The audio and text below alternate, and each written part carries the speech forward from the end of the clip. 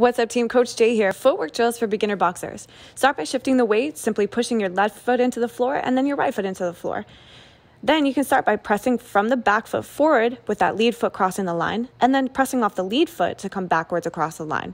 Once you have that, and you can keep your stance 50 50 weight in the front leg and back leg, as well as lengthwise and widthwise, add the bounce.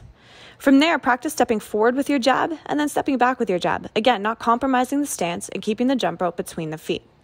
Once you have that, you can add a little bounce. You'll notice that my right arm is connected in three points of contact my shoulder, my hand to my chin, and then my other shoulder is on my left chin. From there, there's levels to punches, so make sure you can work the jab to the head as well as the jab to the body, bouncing in and out across the line. My head is dropping off the line as I throw to the body. When we work the jab cross and progress through this, just make sure that the line stays, again, just between the feet and you're rotating the shoulders in and out.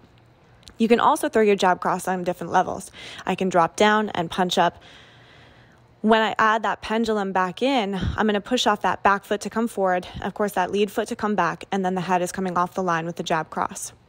From there, we can step forwards and then step back. When you're moving backwards, create space with a small step in your lead foot as you throw your jab, and then a larger step as you rotate your shoulders with your cross. Enjoy the drill.